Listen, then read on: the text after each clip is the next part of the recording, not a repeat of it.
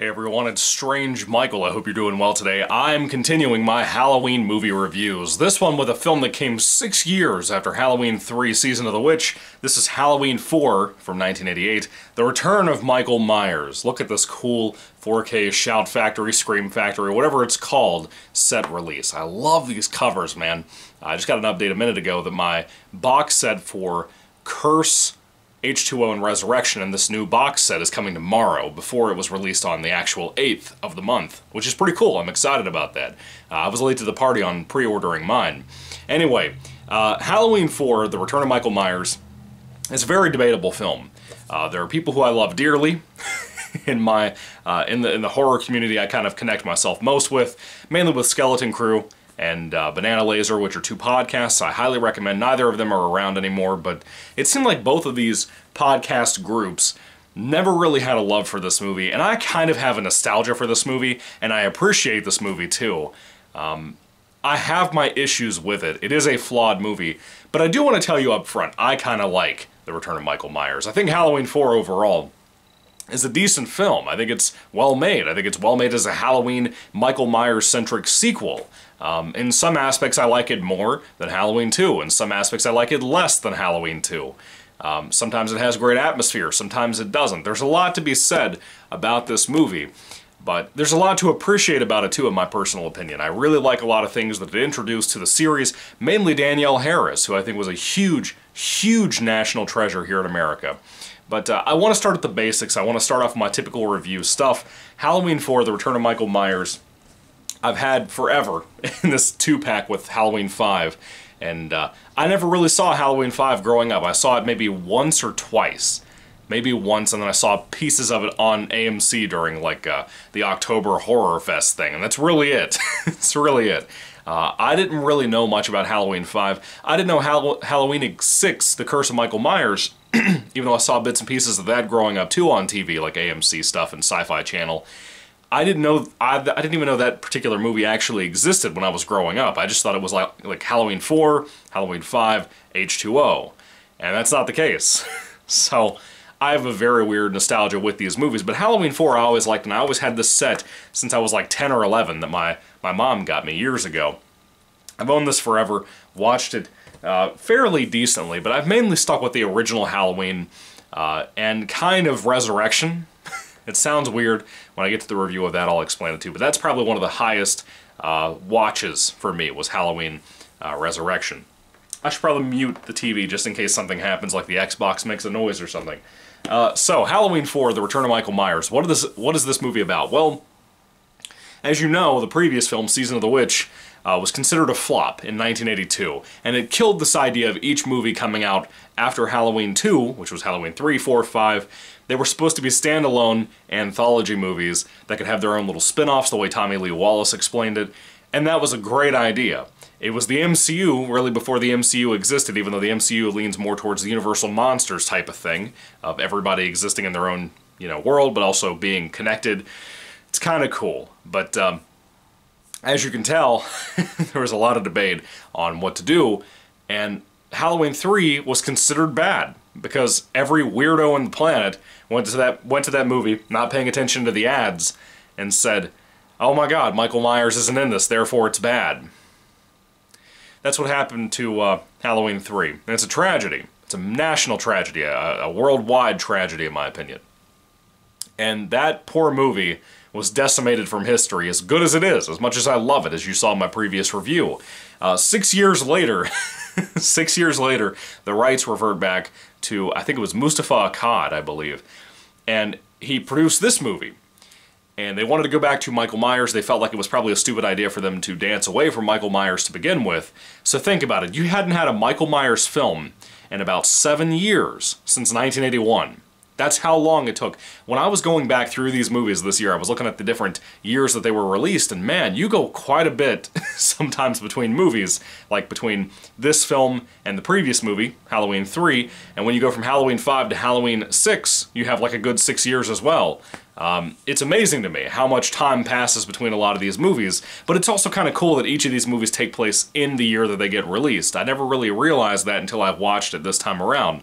So for example, they reference in this movie, this is 10 years after the original movie, and technically Halloween 2, since they take place on the same night. Uh, Loomis makes mention of that as well. We'll get to Loomis in a moment.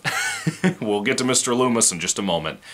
But uh, essentially, Michael Myers comes back. He is being transported by a bunch of uh, hospital staff to go from one hospital in like a dungeon area to a different hospital to be uh, basically taken care of while he's been in a coma for the last 10 years since he was blowed up back in the day by Loomis himself and Laurie.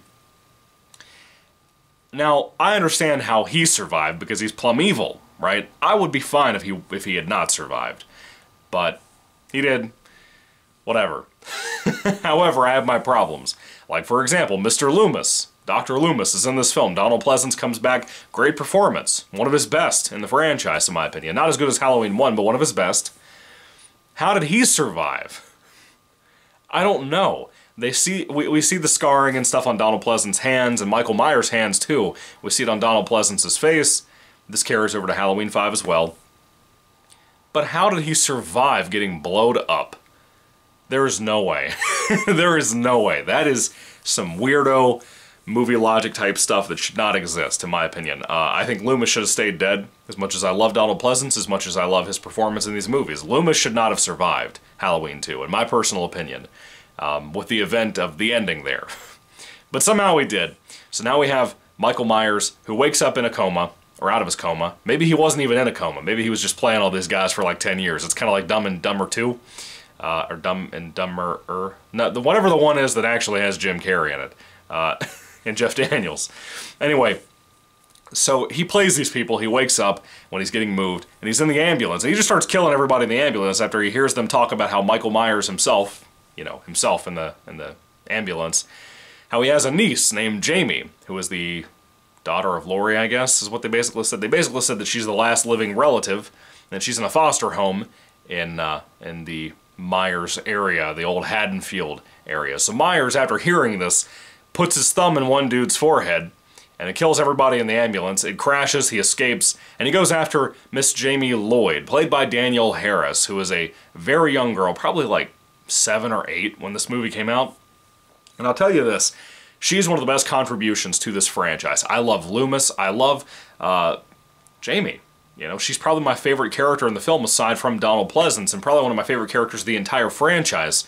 Uh, I think Danielle, Har Danielle Harris in general is a phenomenal actress. She's wonderful here. She tries so hard to be so good in Halloween 5 with how bad that movie is, how bad that script was, how bad the utilization of Jamie in that movie was.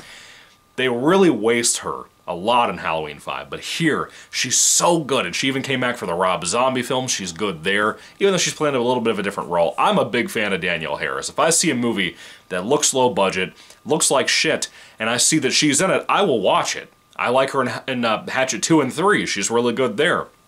She always brings something good to the table, and I think she's just fun to watch. Something about the eyebrow, I don't know. Uh, but anyway, so her being in this, there's no Laurie Strode. There's no Jamie Lee Curtis, but she is Jamie's mom. They prove that with a picture in the film. And Jamie misses her parents. Uh, we never find out who her dad is. I thought that'd be a cool thing we could find out in Halloween 5, and that never happened. Or Halloween 6, that never happened either. Uh, we don't find out who her dad is, but Jamie Lee Curtis is her mom. And it's kind of pitiful because her parents apparently died in an accident. If you've seen H2O, if you connect H2O to, to these movies, which you might not, but if you do, then you probably feel very differently than a lot of people. but still, uh, Danielle Harris playing Jamie. Jamie is so lovable. There's just something about that kid. She's just sweet. She's depressing. She always looks sad, always looks like she's about to start crying. And you just feel bad for her. She's just an orphan kid. She got adopted into a family. Um, and even her family, her adoptive family, they're loving, but her older sister, sister, uh, played by Ellie Cornell, beautiful, by the way. Uh, Ellie Cornell kind of still holds her at a distance as like she's not a real sister, you know, and there's kind of a nice little character thing going on there throughout this movie because of that, and I really like it a lot, which Halloween 5 ruins that as well. Um, does nothing special with that. It's really a shame. Anyway, for the writing of the film, I think that a lot of the character stuff is good. I like Uh, everything mostly with the concept, except for Loomis coming back. I think that's smart, probably on their behalf, but also dumb on their behalf because you can't possibly have explained how he survived. They don't even try, like I said. I like the characters. I like Rachel, Ellie Cornell's character, the older sister. I like the parents in the film. Um, I like the boyfriend character in the film. I think he's cool, uh, even though he's a garbage human being.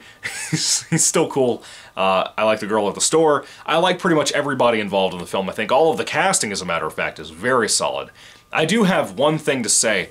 Uh, as good as the tension is, as good as the tension building in this is, as good as the uh, particular thing involving the rednecks driving around in trucks, which Halloween Kills took this mob mentality from this movie and used that as a reference to that film. I thought that was kind of cool uh, for Halloween Kills because I'm one of the few who enjoy it. This movie tried to be a little bit different. It's almost like a soft reboot of the original movie, and a lot of people don't really notice that a lot of the time. I like that about it. A lot of people don't, but I like that about that. And I think by the time the film hits the third act, it's a little slow building up, but it's kind of an iconic slow. There are certain moments in this, like the original movie, that you have cool moments throughout that build to something in the third act that's really tense, and it's really fun, really cool to watch, really enjoyable to watch. I will say this, I think the ending of this film involving how to get Myers away from everybody. It's really cool. I like all that. I won't spoil it for you, but I really, really like all that stuff. If you haven't seen this film, especially the younger folks out there like uh, Stranger Grayson, one of my friends out there on uh, the horror community, the Goosebumps community, check out his channel, by the way. Uh, Stranger Grayson. He does horror movie reviews. Cool kid. Uh, Stranger Grayson, my boy Grayson, if he's younger and hasn't seen this movie, I would be curious to see to see what kind of the younger folks think of this movie because it's so different from a lot of the franchise. Uh, even after it, it's a lot different from a lot of films, including Halloween 5, Halloween 6, and so on and so on. It's got its own kind of energy, and I kind of like that about it. But I will say this, the thing I wanted to bring up a minute ago, the ending of the movie, the ending of the movie, the final event that happens at the very end of this movie, mainly involving Jamie, which was supposed to set up Halloween 5 to be better than it was, I don't think it was a good choice here. I don't think it was a good choice for the direction they went for Halloween 5 to kind of shake things up. Halloween 4's ending, again, I'm not going to spoil anything. I don't like the ending of it. I think it's a terrible ending. I think it's one of the worst endings in the franchise. I think it was a terrible idea to uh, do what they do with Jamie here. And uh, if you've seen the film, you probably know what I'm talking about. If you're watching this review, you probably already know what I'm talking about. I don't, I don't like what happened here. I don't like what they tried to set up for Halloween 5. I think it was a poor idea in general. I think it was a cheap idea in general. Um, trying to make more of a franchise out of this, again, without Michael possibly. It's uh, a little stupid. it's a little stupid. The movie has its problems. But overall, I like the look of it. I think the directing is really nice. One of my favorite things about the film is the opening credits, how we just have no Halloween theme, just shots of like October decorations, uh, harvestry, that kind of thing, you know, crops, all that, looking like Utah. Probably filmed in Utah. I like all that. It looks like Halloween with the orange lettering for the credits and all that. It's very atmospheric. The movie itself can be very atmospheric, and when it gets there, it really, really gets to you, I think. Uh, not in a scary way, but it just gets you sucked in. That's one of the things about this movie, even though I'm not a massive fan of this movie. I do like it quite a bit, but I'm not a massive fan of the film. I don't love it the way I love certain other entries. Um, like the original, like 3, like 2. I think it's good. It's up there on par with Part 2 for me. And again, sometimes I like it better, sometimes I like it less. But it's it's got an atmosphere that Halloween 2 has in a very different way. And I really like that about it. I think it's one of the best things to appreciate about it because it's uh, probably one of the last times for a long time that we get that. Even though I like Halloween 6, the theatrical cut, we don't really get an atmosphere to it. It's just a stylized movie. Uh, there's not many movies in the franchise that have really an atmosphere after this point. It depends on what we're talking about. Uh, we'll get there. Anyway, moving along though, uh, the practical effects in the film there's really not much gore in the movie. There's a couple of moments that are really sick, and when they're there, they are effective, dude. One of my favorite kills in the horror uh, series of Halloween is the truck kill. If you've seen the film, you know what I'm talking about. I think it's great. I love it. It's always messed with me. I swear to God, the TV version of this has a gorier version of that kill. But uh, I could be wrong. It could be a misremembering on my behalf, but uh, who cares? Anyway, not really any practical effects per se. There's kind of some gory things here and there, but it's really not a ton. Most of this uh, murder and brutality are off the screen. A lot of it's just Michael stabbing, Michael doing this, Michael doing that. But the tension is more of what you're here for. This feels like a Halloween movie unlike a lot of films that came after it. You know, it's, it is what it is. If you don't like the feel and the tone of the original Halloween films, that 5 just slightly has, but 4 really maintains that. If you like that, this is a really good one I'd recommend for you as well. Let's talk about the music. The music kind of took Halloween, the theme song, you know, and it kept it in a synth wave type of feel. Uh, that synthy feel is a little bit different from Halloween 2's synth feeling of the, the theme song. You might like it more, you might not. I kind of like this more than Halloween 2, the theme song at least. Um, I think Halloween 2's fits it better for that movie. It would not fit well for this one with that rendition. This one is a little bit closer to the original rendition from the original movie from John Carpenter, but it also feels more synthy, but a little less synthy than Halloween 2. But it's right there in that ballpark. I think it's a good mesh, and I think it really fit for this movie to be kind of a comeback, as like a soft reboot in 1988, six years after the, ser after the series had kind of kind of died a little bit for most people. Um, Halloween 4, The Return of Michael Myers, is a flawed movie. I think many of these films in this franchise really are as much as I enjoy them all pretty much. I think this is a really big recommendation for me. It's a good flick. It's a fun flick, even. It's a really fun, wild movie. There's a lot to really take in from this movie because of how much happens here. And I hate the fact that the next year, 1989, we ruin it again with Halloween 5 and killed it off for like another six years until like 1995. Um, it's a shame, but Halloween 4, The Return of Michael Myers, if I had to rate this film on a five star basis, yes, it has its flaws. Yes, I enjoyed it quite a bit. Um, even with its problems, I think it's a good flick. It knows what it is, even if the ending's weak. And if the ending weren't so weak, I think that I would like it more, probably. Uh, if I had to rate it on a five star basis, I'd give it a four out of five stars. That might seem a little high for the things I've said about the film, but overall, I think it's very well made. I think it's a very well crafted film, and I think, again, after how many times I've seen this, one, and Resurrection, I still have fun watching this, just like I do the original movie. Um, it's a little bit less slow than the original film, but still. Halloween 4, The Return of Michael Myers, 4 out of 5 stars for me. What do you guys think about this film? I would love to hear what you guys have to say down in the comment section down below. Put your thoughts and comments down below, down, down there, excuse me. Thank you guys for watching. God bless you all, and goodbye.